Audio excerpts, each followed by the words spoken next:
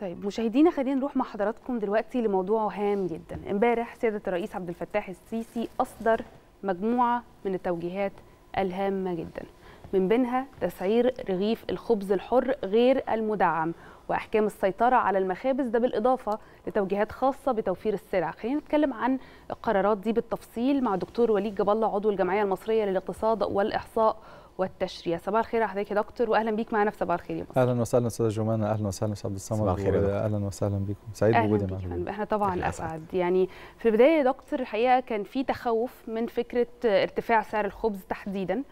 آه وشفنا القرارات اللي خرجت امبارح بتحديد سعر آه رغيف الخبز الحر. خلينا نعرف من حضرتك معنى هذا القرار ونشرحه للسادة المشاهدين. يعني. وأهميته طبعا. بالتأكيد. خلينا نضع أساس إن في الاقتصاد الحر اللي آه، مصر آه، بتسلك مساره حاليا لا مجال نهائيا للتسعيرة الجبرية. طب خليني مع... يعني معلش. أبدأ معاك برضه عشان الناس تفهمنا أكتر. يعني إيه اقتصاد حر؟ اقتصاد حر إن إن ال- القطاع الخاص بيكون آه، حر في آه، اختيار ال- المشروع بتاعه حر في اختيار المورد اللي هيورد منه المواد الخام بتاعته حر فكرة العرض في والطلب. التسعير. فبتكون وزارة التموين دورها في الرقابة مش دور متعلق بتحديد السعر دور م. متعلق بتحديد الجودة. وبأن المنتج لو كان التاجر آه، آه، لو كان ال- المنتج مسعر من من المصدر إن التاجر يلتزم بالتسعيرة اللي موجودة على المنتج. لكن فكرة التسعيرة الجبرية كقاعدة عامة لا يعرفها الاقتصاد المصري حاليا. طيب ال- الحكومة بتتعامل إزاي عشان تضبط السوق في مجال جشع التجار؟ بتعمل إيه؟ تابعنا إزاي إن الدولة توسعت في مشروعات إنتاج السلع الأساسية آه، اللي بتضخها من خلال المنافذ الحكومية اللي بتقفل بيها أص- ال ال ال ال باب الجشع. تحديدا. لأن أنا لما بلاقي آه، السعر في سعر اللحمة في المجمع الحكومي في السيارات الحكومية آه، سيارات الدولة بأنواعها بكل مؤسساتها أو في المنافذ الحكومية أو في آه، المعارض معرض أهلا رمضان معرض أهلا بالمدارس كل هذه المعارض أنا لما بلاقي سعر محدد في هذا المعرض يمكن أسيب المعرض وأشتري من القطاع الخاص لو كان بفرق محدود متاثرا بالترويج بخدمة أفضل بقرب مسافة بأشياء كثيرة. لكن آه، وجود البديل في المنفذ الحكومي ما بيعطيش فرصة للتاجر إن هو يعمل فرق كبير في السعر. هو ده اللي آه، بي يعني ده الآلية اللي الدولة بتضبط بها إنها الأسعار بتوفر البديل بسعر آه، أقل وبجودة كمان آه، وبجودة عالية أقل برضه. ودون وما, وما بتكونش بتتعمد إن هي تخسر التاجر صح. لأن نعم. هي كمان إحنا كتير بنقول إيه هو ليه المنفذ الحكومي يقدر يبيع أقل من كده مم. هو مش هدف المنفذ الحكومي إن هو يخسر التاجر ولكن هدف المنفذ الحكومي إن هو مراقب السوق الدولة بتراقب السوق وبتراقب هامش الربح آه، بصورة إن هي آه، بتبيع منتج لكن مش عايزة تخسر التاجر اللي موجود عشان تحافظ عليه لأن إحنا في الأساس بندعم القطاع الخاص. صحيح في الأساس مصر دولة بتشجع القطاع الخاص ولكن إذا قام القطاع الخاص بممارسات ضارة فيجب على الدولة أن هي تتصدى إليها هناك صحيح. العديد من الآليات اللي الدولة ممكن ممكن تتصدى للممارسات الضارة من القطاع الخاص مم. آخرها هي التسعيرة الجبرية مش أولها آخرها. وده, وده أعتقد التسعيرة دي السبب الرئيسي فيها هو الظروف الاستثنائية اللي موجود فيها. مش هقول البلد لأن العالم ككل بيمر بهذه الظروف ال- الاستثنائية لكن توجيهات السيد الرئيس امبارح بتسعير رغيف الخبز آه، الحر.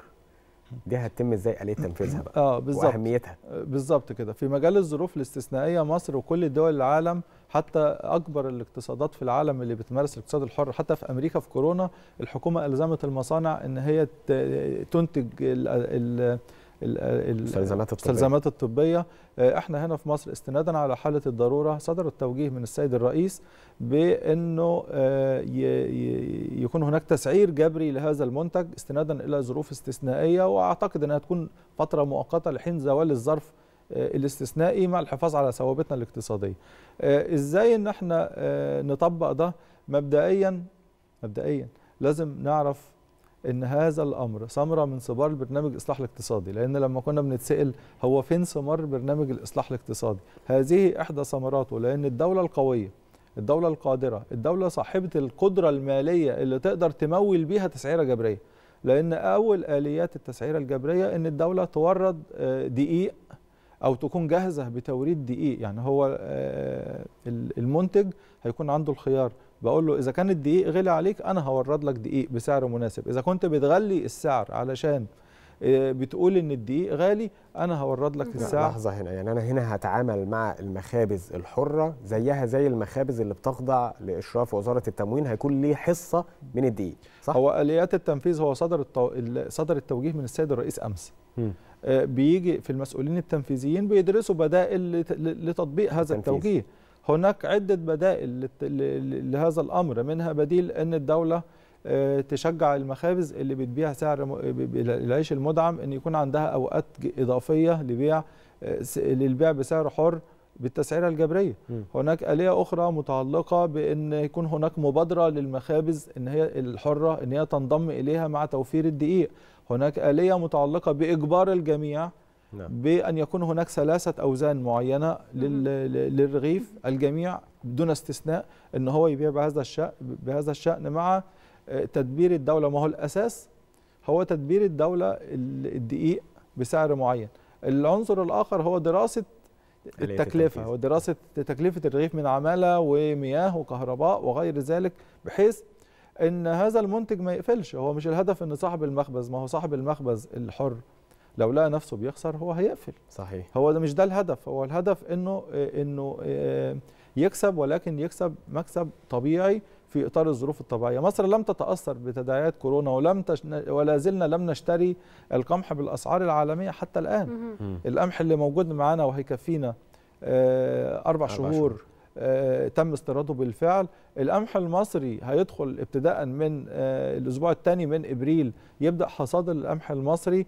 القمح المصري طبعا برضو يعني آه، هيكفينا وهنكمل 2022 دون دون التأثر بذلك. أنا وأنا وأنا لا أعتقد أن الحرب الأوكرانية ستستمر آه، بعد 2022 أنا م- بننتظر في أي وقت من الممكن الإعلان عن وقف إطلاق النار في هذه. الحرب. في مفاوضات شغالة.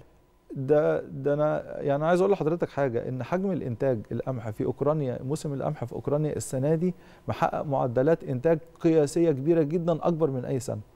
فبمجرد وقف إطلاق النار القمح الأوكراني والقمح الروسي ال ال الأسعار هتنزل بصورة كبيرة جدا. لأن لما بنيجي نتكلم في بصفه عامة. بس معلش يا دكتور يعني أنا هنا عاوز آه،.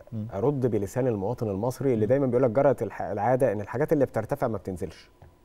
ده دايما الكل بيقول كده يعني. هو ده صحيح. آه، ولكن آه، ده صحيح بالنسبة للاقتصاد ال- الغير رسمي والمشروعات الغير رسمية. والدولة بتدفع حاليا ال ال الاقتصاد إلى إعادة هيكلة لقطاعات كتير من ضمنها قطاع التجارة الداخلية. آه، يعني من المفارقات اللي إحنا بنشوفها في مصر إن الهايبرز الكبيرة بتقدم عروض وأسعارها بتنزل وأسعارها بترتفع ارتباطا بالأسعار. بينما التاجر العادي حتى لو لو حصل على خصم تجاري من المنتج ما بيرحلوش للمستهلك. لأن لأنه ممكن ما يكونش أصلا يكون خارج الإطار. هو ما عندوش سجل تجاري ما عندوش بطاقة ضريبية هو خارج إطار الرسمية. هو ده اللي فعلا لما بي لما بيرفع السعر بيكون صعب عليه إن هو يرجعه.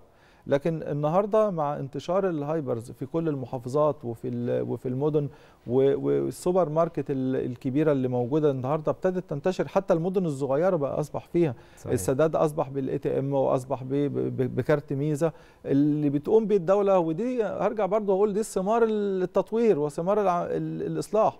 فكون إن الر- الرغيف أو بصفة عامة المنتجات ممكن ترخص لا الاقتصاد المصري الآن يعر- يعرف انخفاض الأسعار.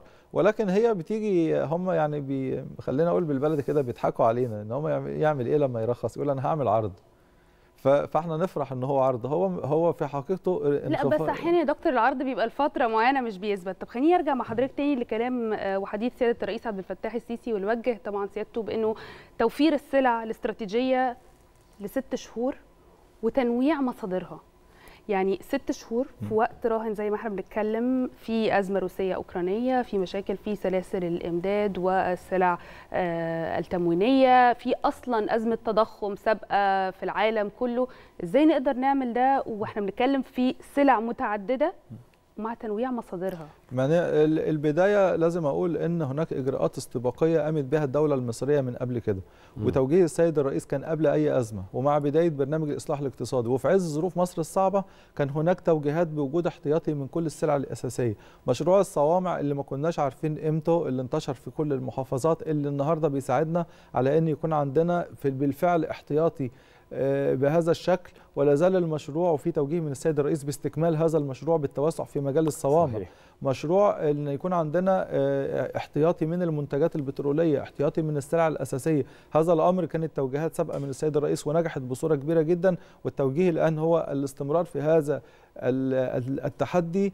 يعني أنا كنت يعني كان قبل كده حتى وزير المالية في مؤتمر كان بيتحدث عن إن وزارة التموين دايما بتطلب شراء سلع أساسية لفترات طويلة. يعني هو هو في وزارة المالية هو اللي بيدفع. فهو انت مستعجل ليه؟ يقول لا أنا أنا عندي التزام إن يكون عندي إن يكون عندي احتياط استراتيجي. فالتوجيه بأن الاحتياط الاستراتيجي يكون لا يقل عن ستة شهور في السلع والمنتجات الأساسية ده شيء كويس جدا. ولكن هي القدرة على تنفيذه برضه هرجع وهقول القدرة على تنفيذه هي قدرة مصر المالية اللي اكتسبتها من برنامج إصلاح اقتصادي اللي كان قرار قوي جدا وشجاع من السيد الرئيس وكنا واثقين في, في, في السيد الرئيس وتحملنا هو ده نتيجة التحمل بتاعنا إن الدولة أصبحت قادرة صحيح. على مساندة المواطن خلال أزمة وتداعيات كورونا اللي استمرت لفترة طويلة أكثر من سنتين ورغم اللي يعني الإنهاك والمخصصات المالية الكبيرة اللي تم تخصيصها في إجراءات مساندة كورونا شايفين إن الدولة لا زالت قادرة على إن هي تضبط الأسواق وتقدم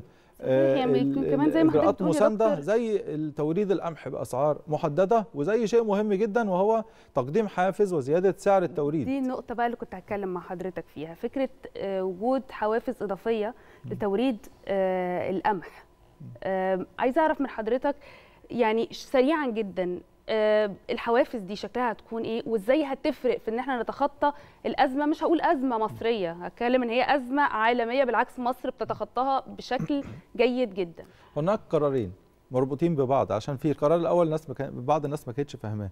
قرار منع تصدير القمح والفول والعدس وهذا الأمر.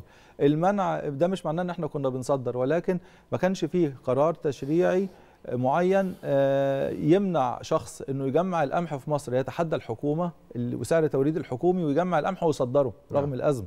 فالقرار منع منع الدولة من ذلك. نيجي بعد كده في المقابل الدولة لما منعت تصدير القمح قالت لا أنا هشتريه بسعر مناسب. فقدمت اولا هي رفعت سعر القمح قبل كده والنهاردة بنقدم حافز إضافي. الحافز هيكون عبارة عن زيادة في السعر لل...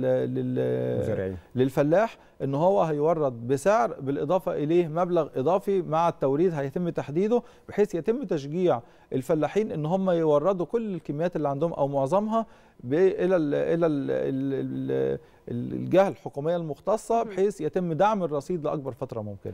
وتشجيع الفلاح ودعم الفلاح أكيد يا فندم نشكر حضرتك جزيل الشكر على كل هذه المعلومات والإيضاحات. دكتور وليد جاب الله عضو الجمعية المصرية للاقتصاد والإحصاء والتشريع نورتنا شكرا جدا.